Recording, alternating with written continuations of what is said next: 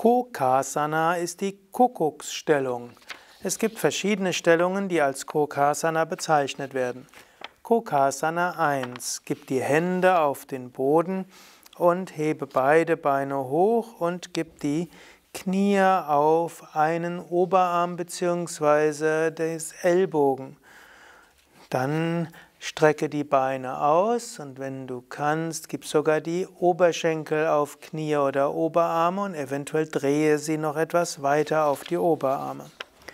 Kokasana 2. Komme zur Hockstellung, gib die Hände auf den Boden, beziehungsweise komme zur Kniestellung, Vajrasana, gib die Hände auf den Boden und jetzt hebe die Knie hoch und die Füße hoch. Diese Stellung fordert die Bauchmuskulatur in sehr hohem Maße. Wenn es dir gefallen hat, klick auf Daumen hoch oder gefällt mir, probiere es aus. Wenn dir die Stellungen gelingen, dann schreib es doch in die Kommentare. Fabian, Eduard hinter der Kamera und Sukadev wünschen dir viel Freude beim Yoga. Wir sind von www.yoga-vidya.de